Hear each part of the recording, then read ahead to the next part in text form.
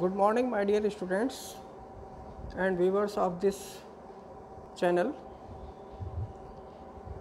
today I will deliver my lecture on avian migration part third मैंने मेरे पिछले संबोधनों में बर्ड्स के माइग्रेशन के बेसिक कंसेप्ट और कितने प्रकार का माइग्रेशन होता है, कैसे होता है, ये सब बातें डिस्कस की थी। आज उसी क्रम में, इस श्रृंखला में मैं अपनी बात को आगे बढ़ाते हुए आपको एवियन माइग्रेशन के कुछ अन्य बिंदुओं पर डिस्कस करना चाहता हूँ। बर्ड्स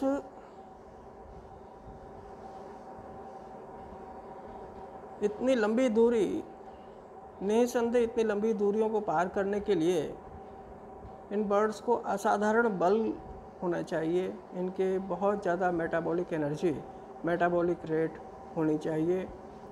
इनकी बहुत ऊर्जा एक स्थान से एक भौगोलिक परिक्षेत्र से दूसरे भौगोलिक परिक्षेत्र में पहुँचने में इनकी बहुत ज़्यादा शक्ति, क्षमता, ऊर्जा खर्च होती है। और शारीरिक क्षमता के इन ओलंपियन मानदंडों वाले पक्षियों की अपेक्षा पृथ्वी पर कोई अन्य प्राणी इतना एथलीट नहीं मिलता। ये लंबी दूरी के प्रवास, प्रवासी पक्षी अपने शरीर में ईंधन की तरह प्रयुक्त होने के लिए विशाल मात्रा में वसा का संचय करते हैं। इसी संदर्भ में आगे डिस्कस करते हुए एक प्रकार है माइग्रेशन का एल्टीट्यूड माइग्रेशन या एल्टीट्यूड ऑफ़ फ़्लाइट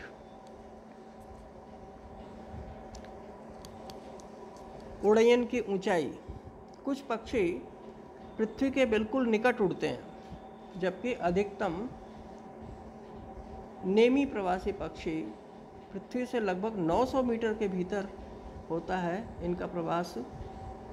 और वैमानिकी का अनुभव बताता है कि जो जो अधिक ऊंचाई पर जाते हैं, कम घनी या विरल, विरलित या रेरीफाइड वायु होने से बायोकेंसी नष्ट होकर संतुलन और गति बनाए रखने में कठिनाई बढ़ती जाती है।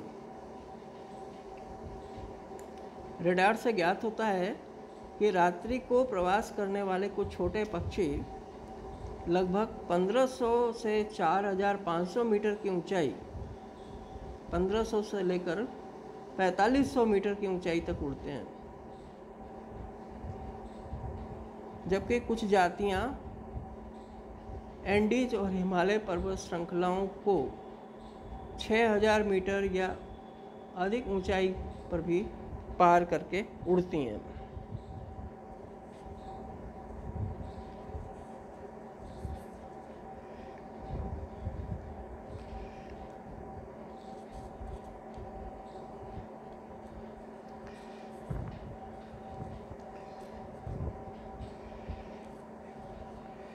इस तरह से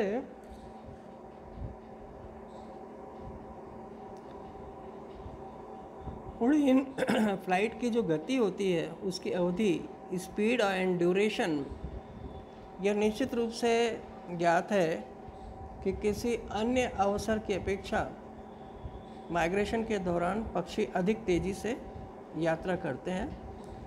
अधिकतम छोटे पक्षियों का औसतन फ़्लाइट या उड़यन वेग लगभग 50 किलोमीटर प्रति घंटे से अधिक बिरले ही होता है, जबकि अबाबिल और स्टर्लिंग अधिक वेग से उड़ते हैं। बाज लगभग 50 से पैंसठ किलोमीटर प्रति घंटा और तटीय पक्षी लगभग पैंसठ से 80 किलोमीटर तक तथा बतख लगभग 80 से 100 किलोमीटर प्रति घंटे की उड़ान से उड़ते हैं। इसी तरह से ईसी स्टुअर्ट द्वारा भारत में रिकॉर्ड की गई अधिकतम चाल स्विफ्ट्स की दो जातियों की लगभग 270 से 320 किलोमीटर प्रति घंटा है और इन चालों पर लगभग 800 किलोमीटर के औसत से एक दिन या रात में बिना रुके सैकड़ों किलोमीटर तय किए जा सकते हैं। पक्षी प्रायः पाँच से छः घंटे प्रतिदिन यात्रा करते हैं और बीच में भोजन या जल के लिए विश्राम करते हैं। प्रवास के दौरान मौसम की दशाओं के अनुसार क्लाइमेटिक कंडीशंस के अनुसार चाल में कुछ अंतर हो सकता है। इसी तरह से बारिश या ओले और विपरीत चलने वाली तेज़ हवाओं में चाल में बहुत कमी कर देती है। इसी क्रम में प्रवास की नियमितता क्या होती है? रेगुलरिटी ऑफ़ माइग्रेशन इसको समझें। तो प्रवासी पक्षियों की अनेक जातियाँ प्रतिवर्ष वर्ष प्रतिवर्ष अपने आगमन और प्रस्थान के समयों में आश्चर्यजनक नियमितता प्रदर्शित करती हैं। यात्रा की लंबी दूरी और मौसम की अनिश्चितताओं के होते हुए भी वे प्रायः एक या दो दिनों के अंतर से अपने पहुँचने के समय की पाबंद होती हैं।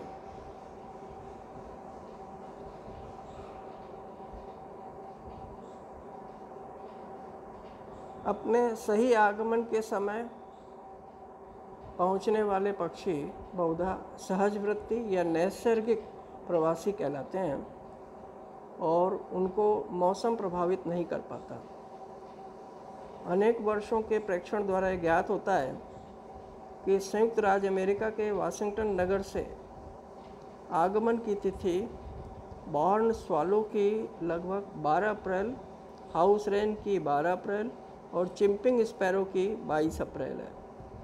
इतना मतलब सटीक एक ही फिक्स तारीख को ये एक जगह से चल के दूसरी जगह पहुँच जाते हैं। और इनकी जो पंक्चुअलिटी है, समय पालकता है के अतिरिक्त, एक अन्य उल्लेखनीय बात यह है कि वे कभी कभी वर्ष प्रतिवर्ष उसी जनन स्थल पर वास, वापस लौट कर आते हैं। इनमें कोई संदेह नहीं कर रहता कि जब एक वलयित स्वैलो रिंग्ड स्वैलो जिसको कहते हैं, अपने दक्षिण अफ्रीका के शीतकालीन निवास से लौटकर हैंगरी के एक गाँव में स्थित घोंसले पर लगभग छः वर्षों तक पहुँचती पाई गई है। और भारत के प्रसिद्ध पक्षी विज्ञानी सलीम अली के अनुसार, एल्यूमिनियम के छल्ले सहित एक ग्रे वैगटेल अनेकों वर्षों तक उनके मुंबई स्थित बगीचे में नोट कराती थी। तो इतना मतलब सटीक स्थान, समय, सब चीज़ें इन पक्षियों में नैसर्गिक वृत्ति के कारण संभव हो पाता है कि एक निश्चित समय पर, निश्चित स्थान पर एक निश्चित पक्षी पहुँच जाता है। और अब हम बात करते हैं प्रवास के मार्ग की। Routes of migration. प्रवास के उड़यन पक्ष पथों के संबंध में बहुत कुछ जानकारी है बा, काफ़ी बातें लिखी जा चुकी हैं। और प्रकाश स्तंभों और जलयानों द्वारा प्रदत्त आंकड़े प्रकट करते हैं कि पक्षी प्रायः उड़ने के फ़्लाइट के निश्चित पथों का अनुसरण करते हैं। एक निश्चित रास्ते से ही आते जाते हैं। यद्यपि हम मार्गों या उड़यन की चर्चा करते हैं लेकिन हिमाच्छादित ध्रुवों के अतिरिक्त पृथ्वी पर शायद ही कोई स्थान बाकी बचा हो, जिसके ऊपर होकर पक्षी नहीं उड़ते हों। रेडारों द्वारा निरीक्षण प्रदर्शित करते हैं कि छोटे स्थलीय पक्षियों का नैस प्रवास एक विस्तृत मोर्चे पर सामान्य वायु प्रवाह के साथ चलता है। बसंत में यह दक्षिण से गर्म वायु तरंगों के साथ उत्तर दिशा में होता हुआ है और पतझड़ में उत्तर की ठंडी हवाओं के साथ दक्षिण दिशा में होता है। रात्रि के समय प्रवास करने वाले पक्षी झुंडों में तथा तंग मार्गों पर नहीं उड़ते, लेकिन दिन निकलते ही वे प्रायः झुंड बनाकर निश्चित उड़यन पथों का अनुसरण करने लगते हैं और उड़न पथ या नेविगेशन पाथ में विचलन, भूमि के संरूपण कॉन्फ़िगरेशन तटरेखा, बड़ी नदियों के मार्गों या बीच में पड़ने वाली पर्वत श्रृंखलाओं आदि के कारण होता है। कुछ लैंडमार्क्स ये डिसाइड कर लेते हैं। इन लैंडमार्क्स या यादाश्त के ध्यान में रखते हुए पक्षी एक स्थान से दूसरे स्थान को उड़ते हैं। अब पॉइंट आता है पक्षियों की मृत्यता या मॉर्टेलिटी अमंग माइग्रेशन माइग्रेंट्स जो प्रवास करने वाले पक्षी हैं, प्रवासन करने वाले पक्षी हैं, उनमें मॉर्टेलिटी भी होती है, उनमें मृत्यु भी हो जाती है।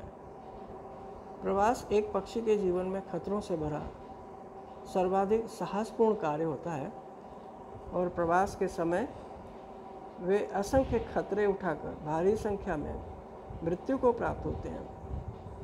और सामान्य धारणा के विपरीत पक्षियों के अंदर मौसम की पूर्व सूचना देने वाला कोई तंत्र नहीं पाया जाता।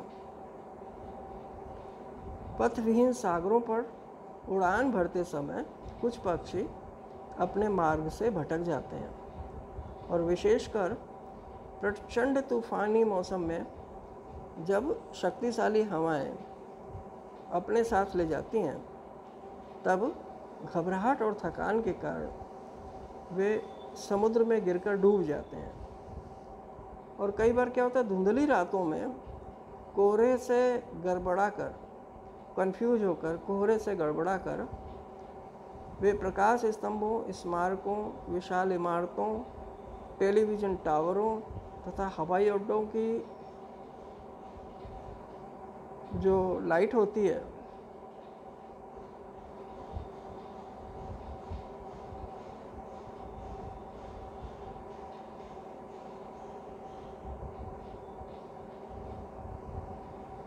हवाई अड्डों की जो सिलोमीटर किरणपुंजों के प्रकाश से आकर्षित होकर उनसे टकरा जाते हैं। इन मानव निर्मित खतरों की अपेक्षा प्राकृतिक विपत्तियाँ कहीं अधिक संख्या में उनका विनाश करती हैं। ठंडे मौसम में या बर्फीले तूफानों, झंझावातों और भोजन के अभाव में वे करोड़ों की संख्या में मृत्यु को प्राप्त होते हैं।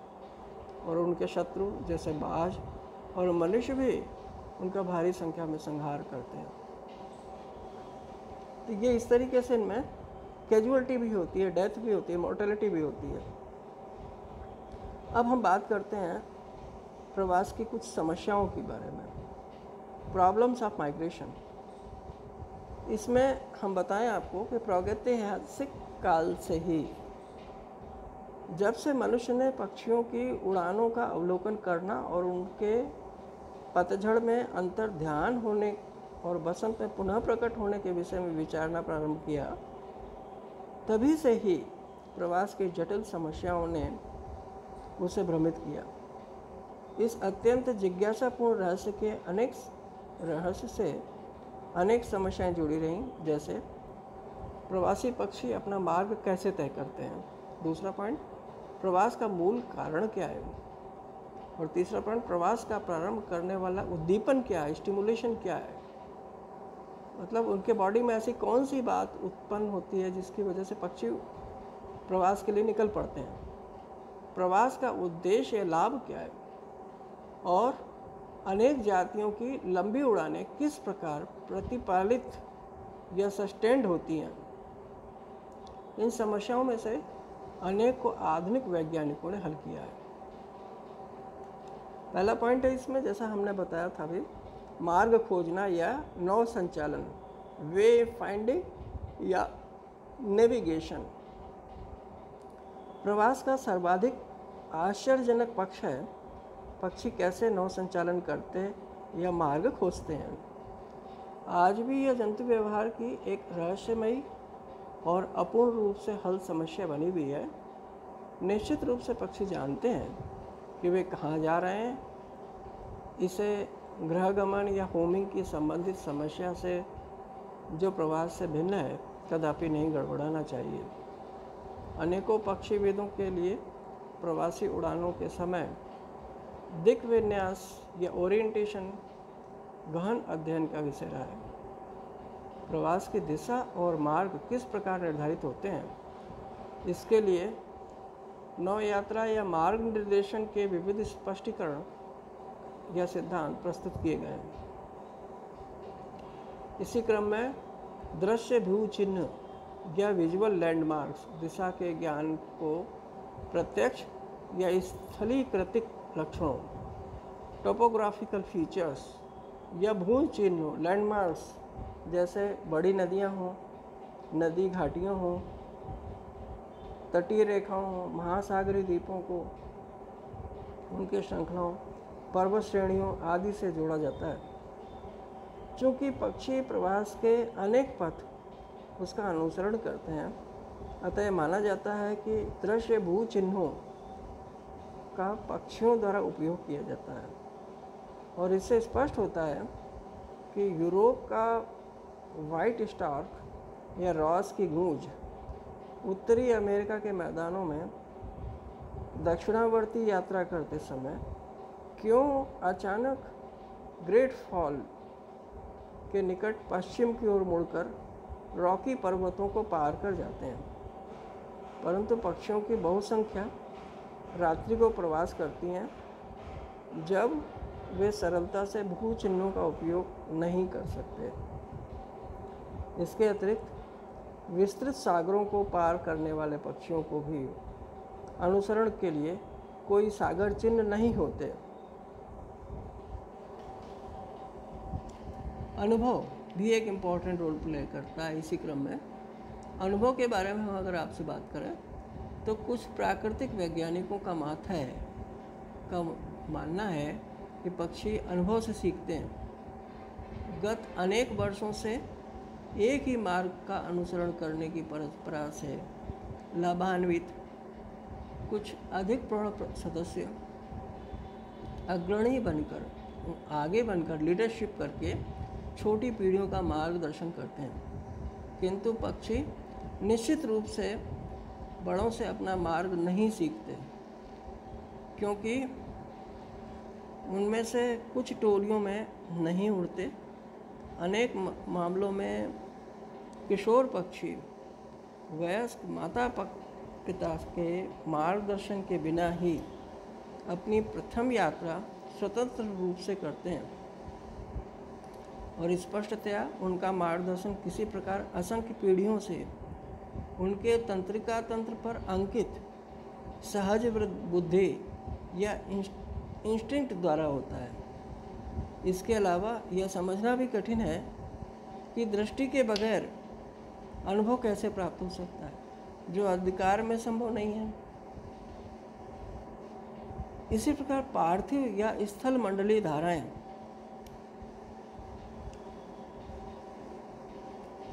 टेल्यूनिक करंट्स भी इसमें इम्पोर्टेंट रोल प्ले करती हैं, और कुछ विद्वानों ने पार्थिव धाराओं के प्रभाव का वर्णन किया है। विडयन पक्षी ऊपरी धाराओं की सहायता से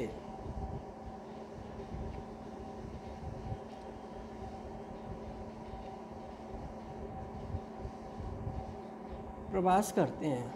विडयन पक्षी ऊपरी धाराओं की सहायता से प्रवास करते हैं, लेकिन जब तक कि हवा उपद्रवी या झोंकेदार न हो, वह पक्षी को उड़ा या धकेल नहीं सकती। निश्चय ही पक्षियों को सीधे उनके गंतव्य तक निर्देशित करने वाली वायु धाराएँ बहुत कृपालु और अत्यंत कुशल होनी चाहिए। इसी तरीके से अभिग्रह वृद्धि क्या होती है? कुछ विद्वानों ने अभिग्रह वृद्धि मतलब होमिंग इंस्टिंक्ट कुछ विद्वानों ने चीटियों, मधुमक्खियों और वाहक कबूतरों की भांति पक्षियों को लक्ष्य तक लौटने में सहायक ग्रहगामी या अभिग्रह वृत्ति का उल्लेख किया है। परंतु वह कबूतरों के साथ अभिग्रह प्रयोगों में नौ संचालन की दृष्टि के महत्व को सिद्ध किया है। डॉक्टर ग्रैफिन ने गैनेट्स नामक समुद्री पक्षियों को उनके तटीय घोंसलों से लगभग 150 या अधिक किलोमीटर की दूरी पर स्थित किसी अनजान प्रदेश में ले जाकर छोड़ा। और उनके वापस लौटने का वायुयान द्वारा अनुसरण किया। थोड़े बच, छोड़े गए सारे पक्षी सीधे घर की ओर नहीं उड़े, बल्कि उत्तरोत्तर बढ़ते वृत्तों में विशाल क्षेत्रों में होकर उड़ने लगे। फिर अपने परिचित क्षेत्र को देखकर सीधे घर की ओर उड़ चले इसी तरह से पृथ्वी का चुंबकीय क्षेत्र अर्थ मैग्नेटिक फ़ील्ड कुछ कार्यकर्ताओं जैसे वॉन हॉफ और हेनरी एल युगलीव ने यह विचार प्रस्तुत किया कि पक्षी पृथ्वी के चुंबकीय क्षेत्र के प्रति अनुक्रिया द्वारा नौ संचालन करते हैं और उनका आंतरिक कर्ण पृथ्वी के घूर्णन द्वारा उत्पन्न यांत्रिक कैरियोलिस प्रभाव कैरियोलिस इफ़ेक्ट से प्रतिक्रिया करता है। परंतु पक्षियों में चुंबकीय या किसी अन्य गोपनीय दिशा ज्ञान का कोई विश्वसनीय प्रमाण नहीं है। इन कठिनाइयों के होते हुए भी यह विश्वास बना रहा कि पक्षी अपरिमित मात्रा में किसी गूढ़ एवं यथार्थ दिशा ज्ञान का उपयोग अवश्य करते हैं, जो उन्हें एक स्थान से दूसरे स्थान